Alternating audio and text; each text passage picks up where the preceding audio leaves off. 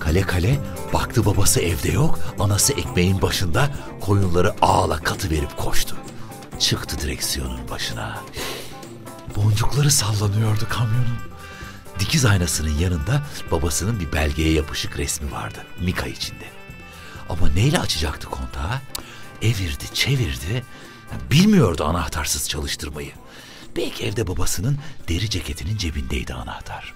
Kamyon evin önünde durduğuna göre babası fasulye sulamaya gitmişti Elmalı Deresi'ne. Gel gel ekmeğini ye diye bağırdı anası. Baban gelir birazdan. Yorgun argın suya gitti. Gitmese sıra geçecek. Gel, gel yağ süreyim anam gel. Yağ almak için ambarların üstündeki takı tuku karıştırıyordu anası. Fırsat bu fırsattı. Hemen atıldı kale kale. Deri ceketin cebinden destesiyle avuçladı anahtarları alıp beline soktu hemen. Tahta kaşığı yağla doldurmuş geldi anası. Bütün bezeyi kabaca açtı, tepertti sacın üstünde yağ sürdü. Ala pişik indirdi. Attı öteki yufkaların üstüne. Acıkmışsındır gel yiyiver dedi. Yağlı ekmeği soğutmadan aldı kale kale. Dürümledi, ağzı avurdu yanıyordu yerken. Yaş geldi gözlerinden aldırmadı. Öyle istekliydi ki. Köyün içinden korulara sürecekti doğru. Sonra biçilmiş tarlaların arasından yukarılara çıkacaktı. Bayındırlı Halil Doğan bitirin bir şoför olmayı kuruyordu. Babası gibi dikkatli, sabırlı falan sürmeyecekti. Uçuracaktı. Sakın sen şoför olma, çoban ol oğlum diye ötlüyordu babası. Çoban falan da olmayacaktı. Elindeki yağlı ekmeği yarı edince yürüdü. Dur dur bir daha yapayım nereye gidiyorsun? Duymadı anasının sesini.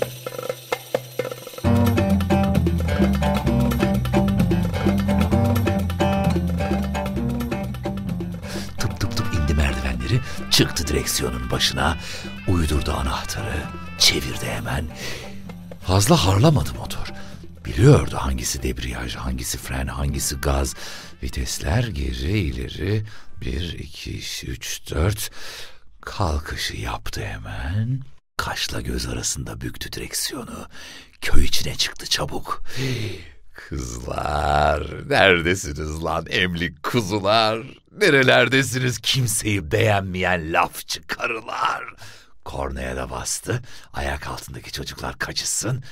Kör İlyas'ın eviyle Kadıoğlu Mustafa'nın evlerinin önünden yel gibi geçti. Korulara indi bir solukta. Bu kadar hızla koskoca bir kamyonu sürebilen çocuk niçin çoban olup ziyan olsun? Koskoca kamyona, kamyonun göğsündeki koskoca motora aslan gibi egemen olabilen bir çocuk çoban olur da koyun davar güder mi hiç? Arap güllüğünün içinde kadın kız vardı. Anason tarlalarında, güverti aralarında kadın kız vardı. Bastı kornaya, bastı kornaya. Düt düt. İlletti, çınlattı ortalığı. Ve döndü göçmen tarlasının yanından. Daha fazla gidip ne yapsın? Elbet isterdi ama babasının fasulye suladığı yere Elmalı Deresi'ne yaklaşıyordu. İşitirdi düt dütleri, koşar gelirdi bakarsın. Yılların şoförü, isterse dağların ardından duysun, tanırdı kendi öz kamyonunun sesini. Ustalıkla döndü kale kale. Çıplak eşeğin sırtında gibi kalkıp iniyordu giderken. Coşkunlukla sürüyordu. Koruların arasından leylek sereninin dibinden geçip köy içine girdi. Birden sap yüklü bir kanı geliverdi karşısından. Kırdı direksiyonu hemen. Çarpmamak için kırması gerekiyordu. Ama hızı çok yüksekti. Anası da merdiven başına çıkmış bağırıyordu. Bu yaptığın doğru mu kale kale? Her nasılsa belki de sert kırdı. Belki de frene basacağım diye gaza bastı. Şimşek gibi ileri atıldı kamyon. Bir anda Kürüş Halil İbrahim'in kerpiç eve girmesiyle gözden silinmesi bir oldu. Kerpiç evin duvarı yağmurdan, yaştan aşınmıştı epey. Ama ana duvardı. Yılların aşındırmasına epey daha dayanırdı. Ama böyle şahin bir kamyon tam gaz gelir toslarsa nasıl dayansın? Açılıverdi çift kanatlı koca kapı gibi. Kamyon daldı duvardan içeri. Yarıya inmiş samanlıktan geçti. Danalıktan çıktı. Avlunun ta dibine oturdukları odanın önüne gelip durdu. Geçtiği yerlerde duvar direk bırakmadı dikili. Çivileri bile söktü. Kattı karıştırdı ortalığı. Ne farları kaldı ne camları. Ne boyası ne boncuğu. Dikiz aynası, kilometresi, yakıt göstergesi falan yamuldu. Yıkıldı adam akıllı. Bereket motor kendiliğinden durdu. Kale kalenin durdurması olanaksızdır.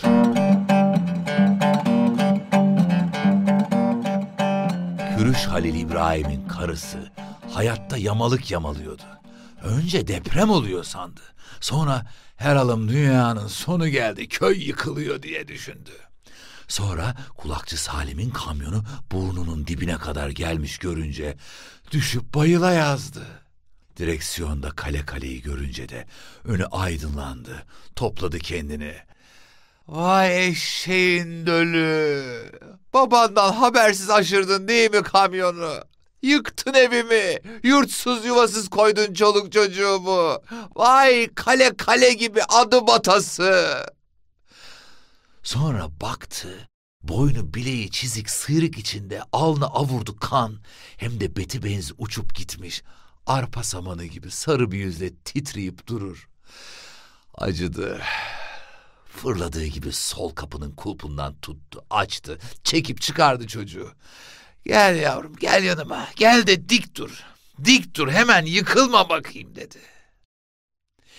Günde dura dura ılımıştı ırbığın suyu. Çarpa çarpa elini yüzünü yıkadı kale kalenin. Seleden bir giysi eskisi bulup sildi yüzünü. Sonra bir tas su içirdi. Bir yanına bir şey olmasın aman yengem. Çok yaramazsın ama korkusuzsun. Ne severim seni şu köyün içinde. Üç tane kazık gibi oğlum var. Kızım olsa verirdim. Birer odun oğullarım. Babandan habersiz aşırdın değil mi?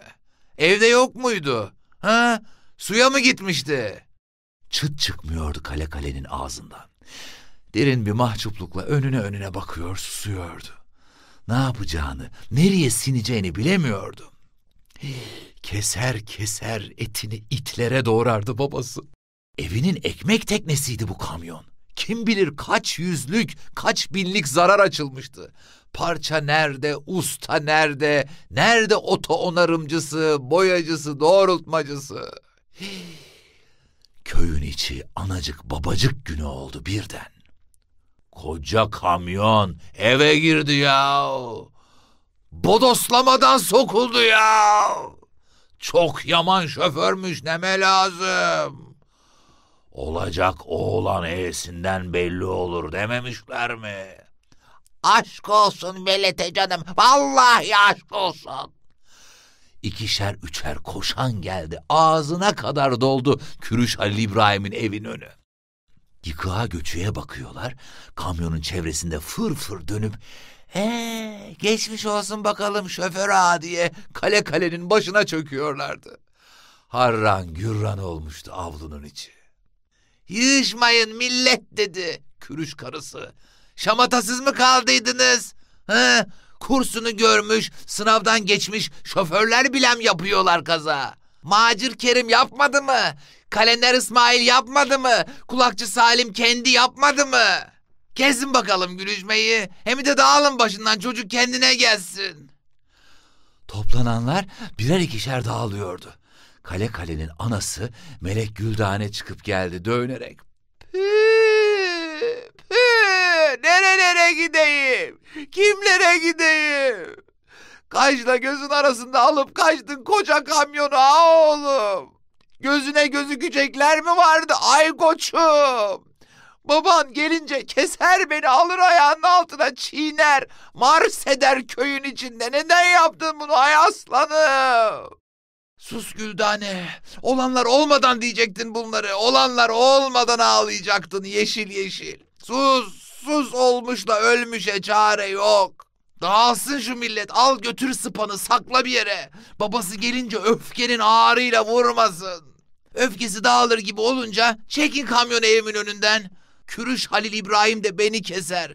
Neden bakmadın, neden yıktırdın der. Kerpiç mi kestireceksiniz, taş mı kırdıracaksınız? Devrilmiş direklerimi doğrultmak için Gökçe'ye kadar usta mı getireceksiniz? Temizletip, paklatıp bir an önce onarın evime. Hadi bakalım. Hadi millet, dağılın siz de, dağılın dedim, duymadınız mı?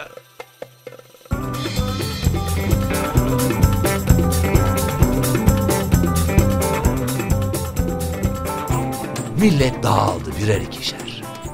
Ellerini birbirine vura vura gidiyorlardı. Gerçekten usta şoförmüş ha. Tam göbeğine getirmiş duvarın. Basmış kaza. Bir yandan girip öte yandan çıkıvermiş. Kürüş karısını görünce de selam durmuş diye diye gittiler. Kale kale yeniden direksiyona oturup çalıştıracak oldu kamyonu bırakmadılar. Melek Güldane aldı oğlunu gitti. Önce eve vardı. Yeniden yıkadı elini yüzünü. Sıtma tutmuş gibi titriyordu oğlu. Öldürücü bir pişmanlığın içindeydi. Sap yüklü Kaan'ı görünce sağ olsa geçip gidesiye kadar beklese ne vardı? Babası şimdi çıkar gelirdi, alırdı ele girerdi yola. Yer misin, yemez misin? Biraz daha ister misin? Bostanın başına kaçsa, akşam orada mı yatsaydı acaba? Yoksa teyzesi gile mi gitseydi? Gömülse miydi çuvalların falan arasına? Dur dur titreme. Teyzengile götüreyim seni. Bereket anası işkence etmiyordu.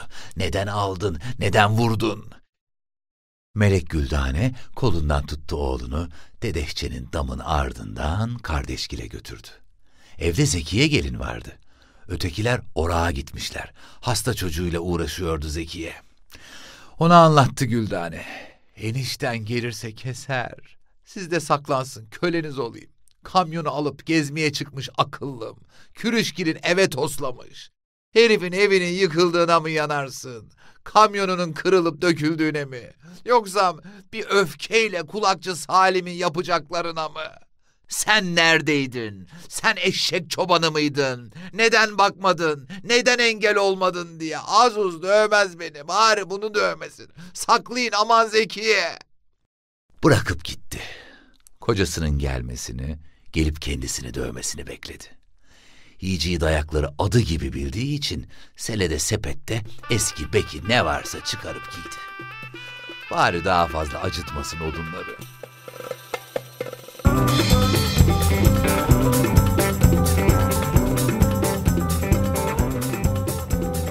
Kulakçı Salim göçmen tarlasının yanına gelince duydu olanı. Koştu hemen. Karısını dövecekti karısını. Elbet onundu bütün suç. Söğe saya yürüdü. Niçin bakmamış sıpasına? Niçin engel olmamış? Niçin dur oğlum otur upuslu dememiş?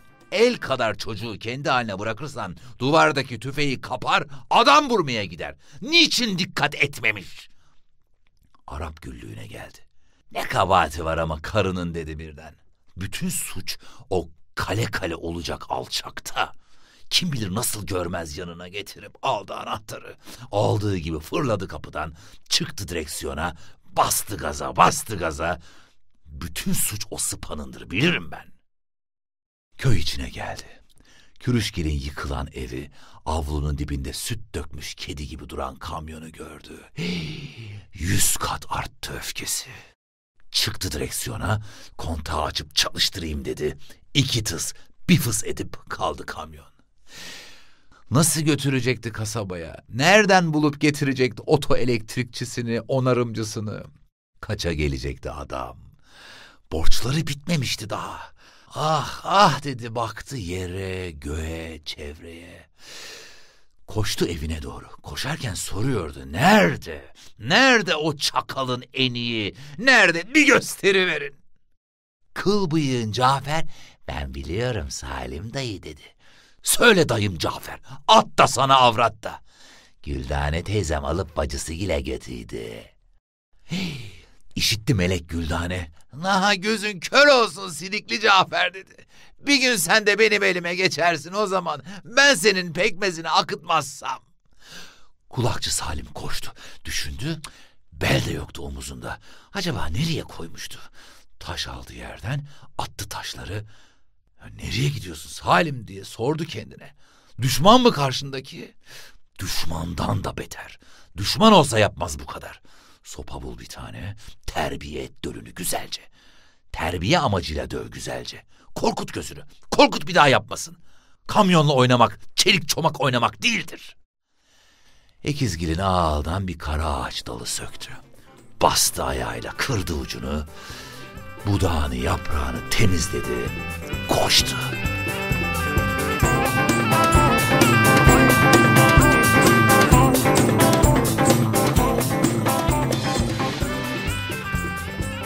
Zekiye gelin köy içine bakıyordu ne var ne yok.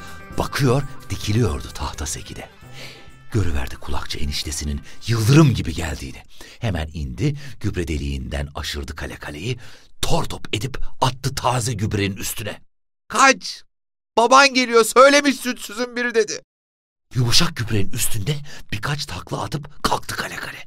Kaçmaya başladı. Zekiye'yi deliğin önünde gördü Salim. Kaçırdın oğlanı Zekiye dedi. Kaçırdın ama yanlış yaptın. Demek koca kamyonu alsın, götürsün, elin koca evini yıksın, koskocaman anasıyla yengesi de şımartsınlar serseriyi. Aferin. Öfkenin esiri olmaz Halim enişte. Öfken geçsin, oturt önüne öğütle. Dövmekle de olur deme bir yanını sakat edersin çocuğun. Sus sus bana akıl vereceğine şimdiden kendi sıpanı terbiye et. Bugün yarın kocan Aziz Efe de bir kamyon alır belki dedi. Çarptı çıktı koca kapıyı. Köy içine koştu. Nere, nere gitti bu sıpa diyerek koşuyordu. Hacı Osman'ın torunu Numan çıktı bu sefer. Ekizgilin ağla, koyunların arasına sindi. Kulakçı Salim koştu, Numan da yanı sıra koştu. Burada, işte burada Salim dayı, koyunların arasında. Bu sefer bağırmadan koştu kulakçı Salim. Sine sine vardı. Atmaca gibi atılacak, omuzlarından basacaktı. Sonra dövecekti kana kana, dinlene dinlene. Cidden atlasa görürdü, duyardı oğlu. Kapıdaki çalıyı kaldırdı usulca. Yanmış pişmişti koyun gübresi harlı ateşin altında. Gübrelerin üstünde koyunların arasındaydı kale kale. Koyunlar silkindiler, çanları ötmeye başladı beşinin onunun. Usulca başını kaldırıp baktı kale kale. Evet, babası geliyordu. Orada tam kapının olduğu yerdeydi. Düşündü, nereye fırlasın, nereye dalsın. Düşündü bir anda. Babam kocaman adam, basamaz koyunların üstüne. Ben basıp geçeyim, ölecek değiller ya. İsterse ölsünler, ben öleceğime. Şimşek gibi fırladı. Önce babasını üstüne çeker gibi yaptı. Sonra yön değiştirdi. Çitten kapıdan atladı. Koştu köy içine. Kulakçı Salim ağalın içinde bir o yana bir bu yana yalpalayıp duruyordu. Düşüp kalkıyordu. Uğraşa uğraşa çıktı koyunların arasından. Dört yanına baktı.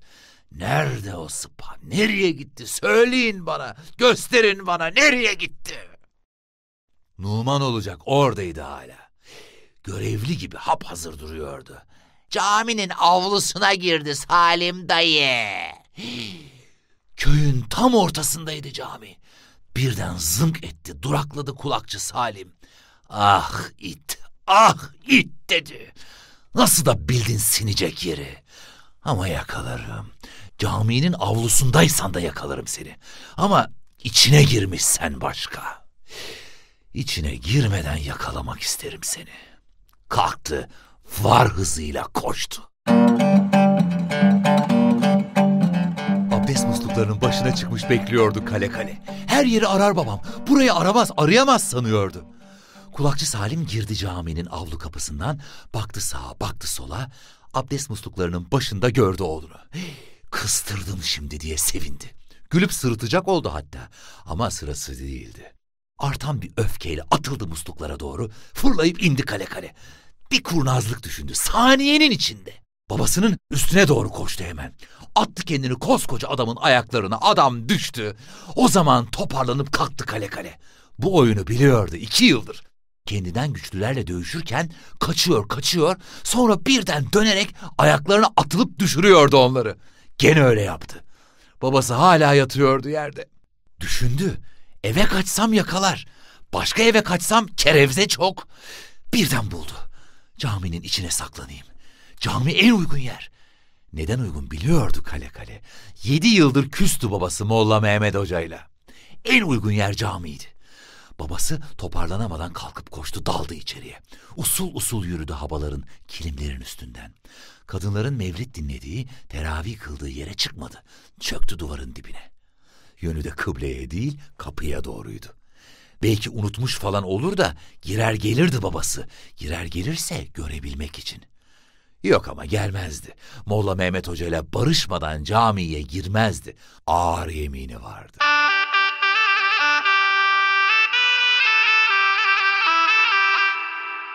Kale kale! Hey kale kale! Çık dışarı! Bak çık diyorum çık dövmeyeceğim. Dövsem de az döveceğim. Belki, belki sadece burnunu kanatacağım birazcık.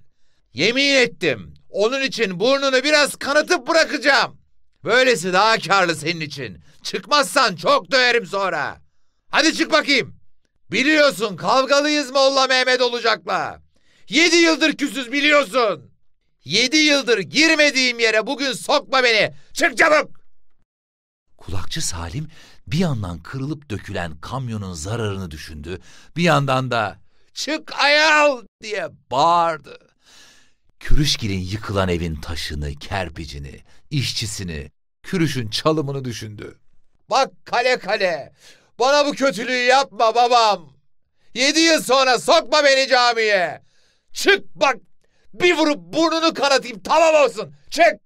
Yeminim yerini bulsun hadi oğlum. Kapının eşiğinde duruyor, bir adım atamıyordu içeri. Kale kalede babasının andığını bildiğinden çıkmıyordu. Baktı etti, yalvarıp yakardı Salim. Daha fazla yalvarmayı da doğru bulmadı. Çarptı ellerini birbirine. Yedi yıldır girmedim, şimdi hiç girmem ulan. Affettim ulan dedi. Yürüdü evine doğru. Elini yüzünü yıkayıp kamyonunun başına gitti. Köy içinden geçerken bir daha bağırdı. Kale kale. Affettim babam. Affettim. Çık artık. Çık sinip durma. Ama ne olur ne olmaz hala bekliyordu kale kale. Adamlar namaza geleceklerdi akşam. O zamana kadar bekleyecekti.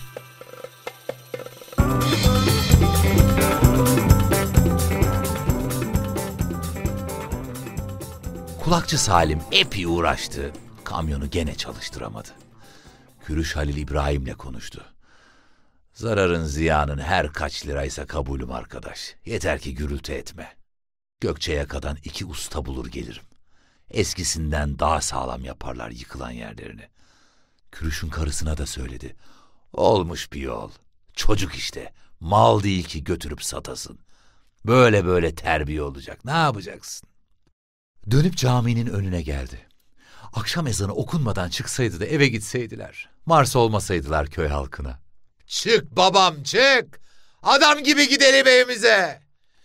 Kale kale döversin, çok döversin, çok kanatırsın burnumu diye seslendi içeriden. Hayır ondan da vazgeçtim. O bir küçük yemindi. Adak üleştirip bozacağım küçük yeminimi. Ama Molla Mehmet olacakla nasıl küsüm biliyorsun. Büyük yeminimi bozamam. Çık babam. Bir yemin daha et dövmeyeceğine. Üçten dokuza şart olsun dövmeyeceğim. Çık. Bak olacağımız kadar Mars olduk. Daha fazla olmayalım. Çık hadi. Karanlık basarken çıktı kale kale. Baba oğul el ele tutuşup yürüdüler köyün içinden. Sapkanısına çarpmamak için kırdım direksiyonu baba. Vallahi dost doğru gidiyordum. Hala kendinde suç yok gibi konuşuyordu. Çok kızdı kulakçı Salim. Eşekliğin gereği yok. Hatanı kabul et. Yeminim var dövemiyorum. Yoksa karışmam bak dedi.